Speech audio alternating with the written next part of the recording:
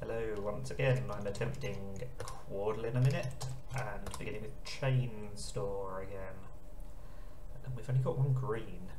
It feels like we should be able to get the bottom right word. Let's try Gator. That was a bad idea, wasn't it? Oh, but we've got duplicated T's in the top left, so let's try utter.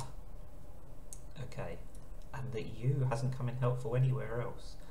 Right, so the top right could be fight or tight or light. We might be in trouble with that.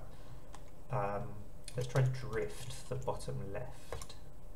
Oh, that's not right either. Is it fritz? Not a very common word, and the Z hasn't come in handy anywhere else, unsurprisingly. Um, aorta in the bottom right, maybe?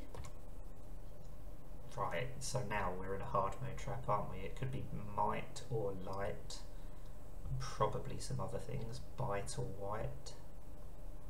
Let's try light.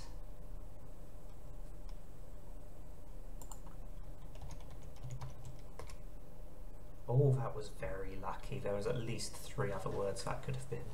I think light is probably the most common word out of those, but it definitely could have been might. Um, so I didn't quite solve it in a minute, but I did get it within the nine guesses you're allowed. And I had one guess to spare actually. So not too bad. And that's the Quordle puzzle for today. Let me know how you got on. Thank you for watching and bye for now.